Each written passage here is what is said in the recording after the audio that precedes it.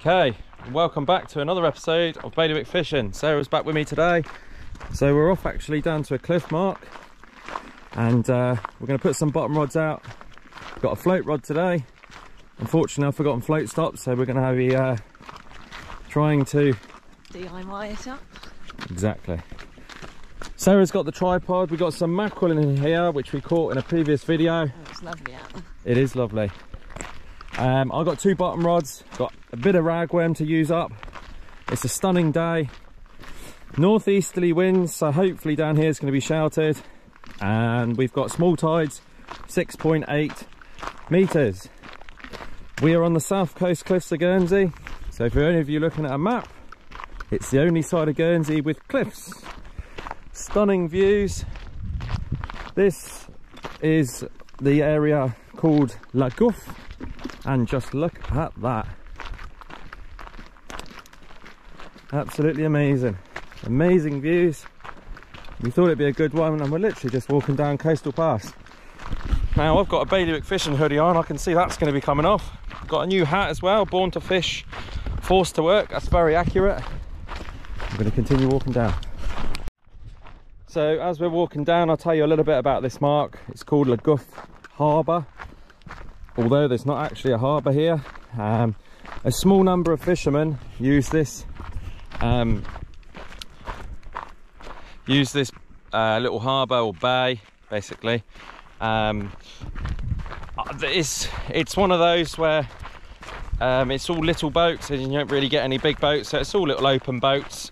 Um, we might see some down there I don't know if they've been brought up yet because obviously in the winter months when it's stormy weather it's quite a uh, targeted spot so yeah you need to get your boats out. We're nearly there though. It's only a short walk and uh, we'll give you a show when we get down there. So this wall here is the uh, La Gouffe we're going to look over the top and I'll show you where we're about to walk down. You can't quite see it. So we're going to go down the cliff path here just down where the rod tip is. Basically we're going to be fishing down there. Look at those cliffs they're amazing northeasterly wind again so they always say what do they say when the winds From the east, the fish bite the least. Or in your case, when Sarah's with you, the fish bite the least. sarah thinks she's a bit of a jinx when it comes to fishing because every time she comes on the boat we don't seem to do quite as well but hopefully today we might put a change to that if you're looking at coming on holiday to Guernsey and you're looking for fishing spots if you uh, put La Gouffe into your uh, sat nav and uh, you watch this video this will be a uh, good tutorial of where to come and to fish from. Again 6.8 meter tide. Guernsey can go up to 10.2 so it will be very low on the high water today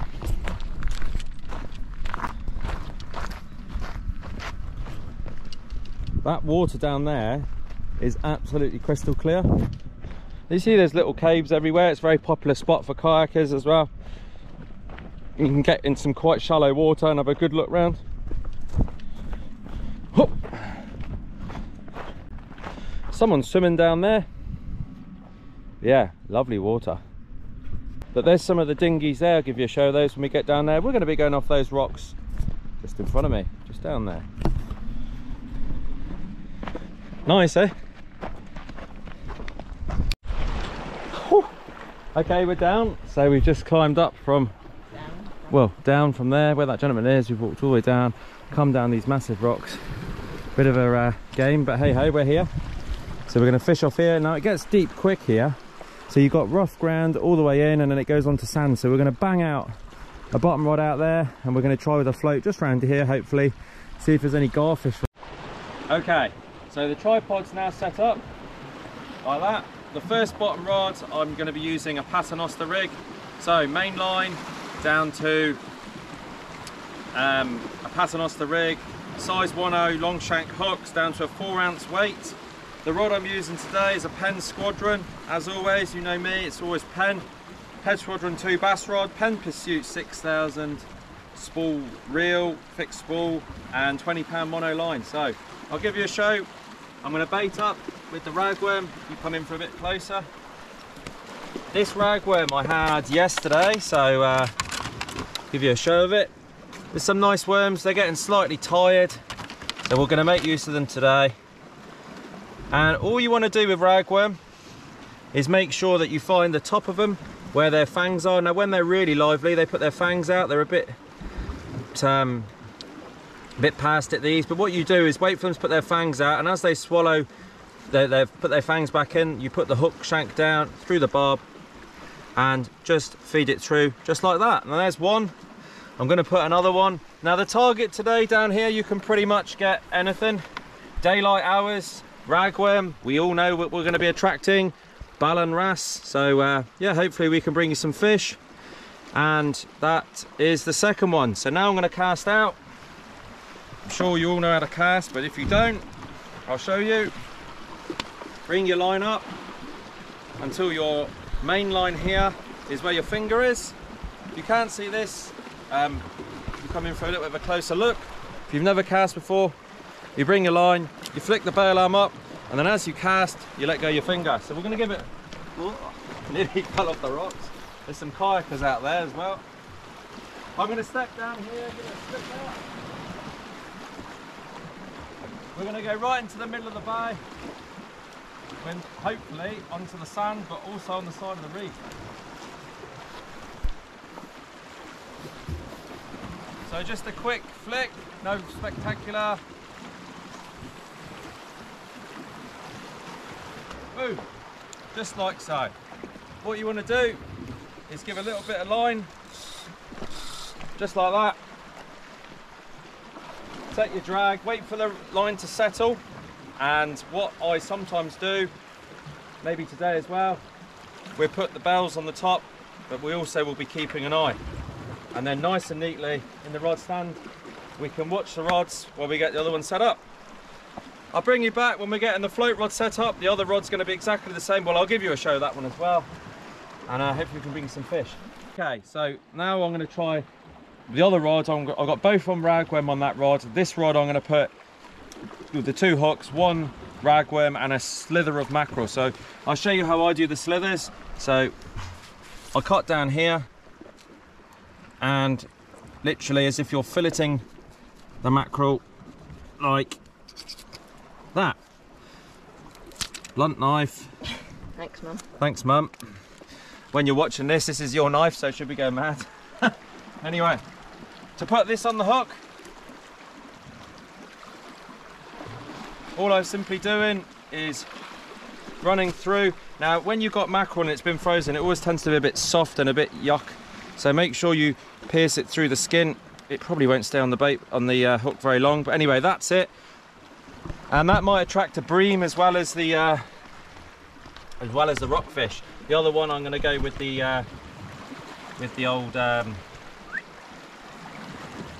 ragworm again. Right, I'm going to cast this next rod out. We're going to go. We've got one straight out at the moment.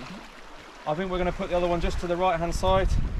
Sarah's going to stand there and it's going to whistle past her. No. you ready? Yeah. Boom. Beautiful. So that's the second rod out. So we got one out, one to the right, and we'll wait for that to settle. Set a bit of drag. There we go.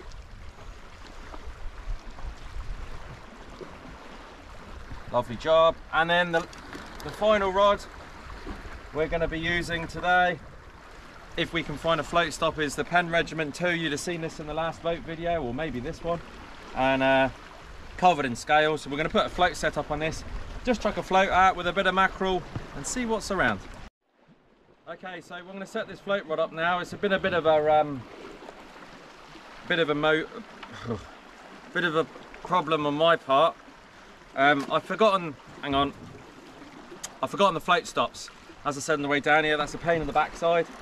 Um, I haven't got any, so I'm gonna have to try and use some line. You can also use um, elastic bands and stuff like that, but I haven't got any of that either. So it is a bit of a nightmare. Gonna try my best, but I'll show you the setup I'm gonna use in. So I'm gonna tie this, I'm gonna tie a bit of line onto the uh, main line and then I'll give you a run through of exactly how the setup goes. It is all again once, it's all dependent on what you want to use.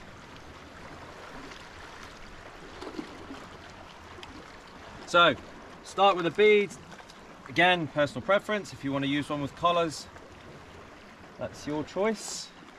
I go with a, I like these floats, Shakespeare one ounce floats. You can see it's pretty battered, it's been old. The reason I brought two colours is because I thought if Sarah's fishing with it, she can choose. Some people can't see the colours, We'll go with the orange one today.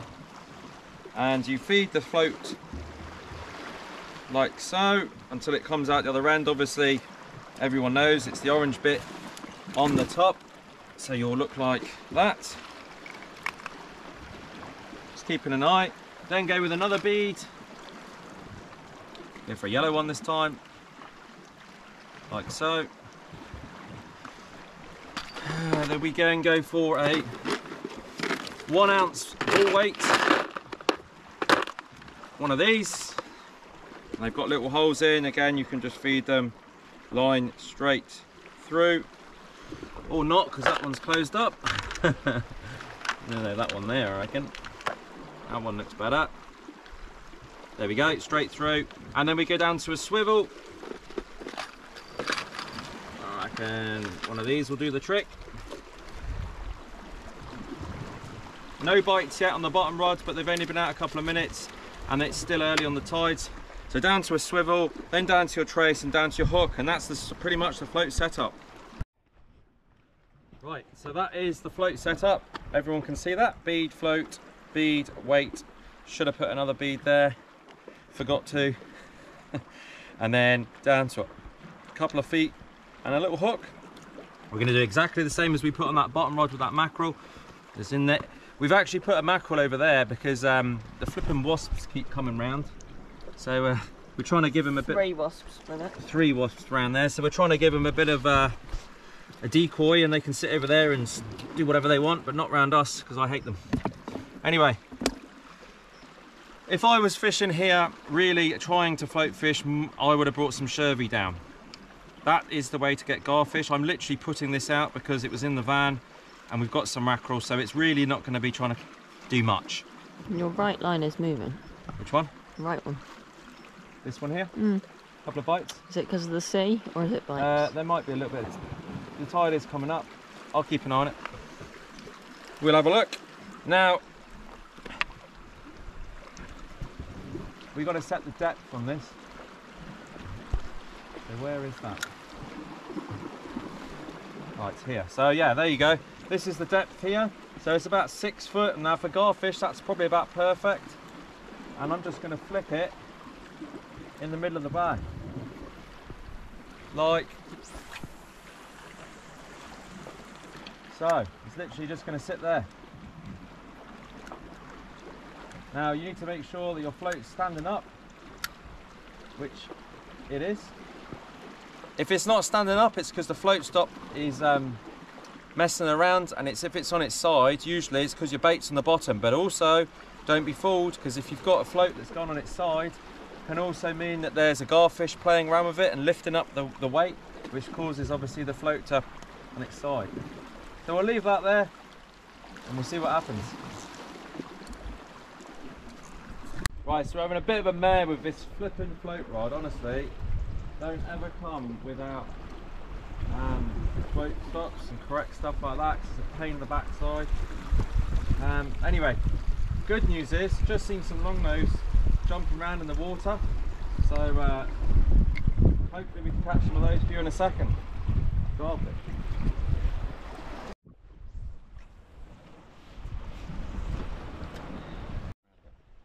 Right, so there's a garfish around this. I reckon I'm going to get him. You watch the float's playing silly buggers. It's gone on its side.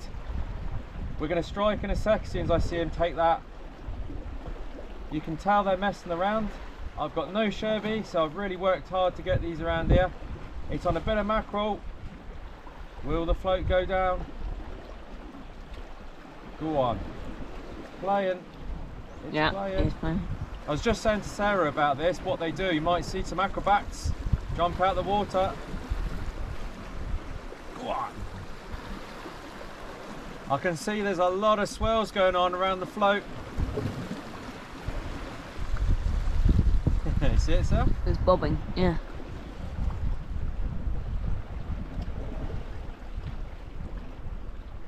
They're having a nibble. I'm going to take a bit of slack up. It's gone. No, he's having a nibble. He's having a nibble. Fish on! You see him Yeah, jump out. we saw him jump. Beautiful. Fish on. Might do some acrobats to see if we can get him to jump. Him or her? Could be a her, could be a him, who knows?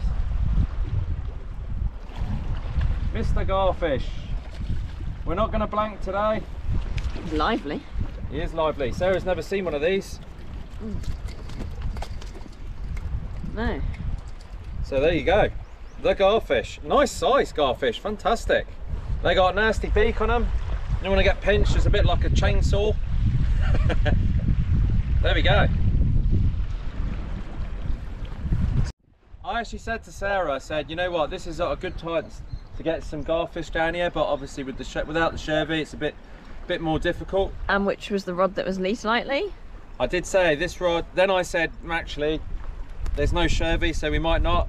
The ragworm should play ball. Unfortunately, we've had no bites on the ragworm, so uh, yeah, Mr. Garfish, come to the rescue. We're gonna get this unhooked, we'll get him back. So there we go. Mr. Mr. Longnose, we're gonna get a release. So if Sarah wants to follow me down. Here we go. He's gonna be going back. Well, Oh. over the rocks. Over the rocks, and there he goes, back down. That's what we like. Check the scales out on this. Blue scales, they've actually got blue bones as well. Anyway, we're gonna rebait, we're gonna get some more. There you go, see? We're fishing in a, literally 15, 20 foot away from the, uh, from the rocks. There's not much, he's there, he's got it. Fish on. Sarah? Sarah's gonna reel this in.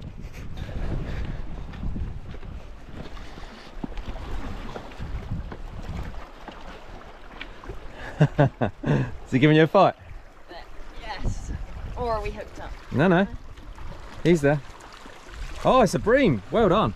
There you go. It wasn't a garfish, it was a bream. There's another species for today. Bream on the mackerel. So bream on float. Your arm's not long enough. there you go. If you hold that up. Sarah's first ever float caught fish. Well done.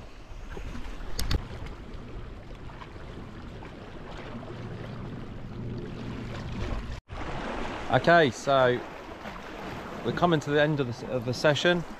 Sarah wants to have a go at her first ever cast with a rod, so I thought I'll give her the float rod and uh, we're going to get it on camera. So, you all set? I think so. How's it looking? Do I need to stand out the way? I'll stand back here. You far away. Oh dear. It's not set right, mister. Yeah, you need to put the bail arm up. That's it. So go back, give it a bit more of a, a, flick out. Yeah, yeah. There we go. First ever cast. If you reel in again, I'll show you another way you can do it. So it's all practice, guys. If, as with anything, the more you practice, the better you get. So if you, that's it, set it to about wherever you're comfortable, a bit more I'd say, Longer. uh, a bit a bit top, shorter. That's it. Right, now if you put the rod down the side of your body, so like you had it down behind your leg, if you put the uh, bail arm, that's it. Flick the arm up and then cast that again. But have it, this bit here that's going around your, the back of you, have the rod around that side of you. Oh, like more upright. That's correct, yeah. Uh, well, e the other side almost, yeah. That's it.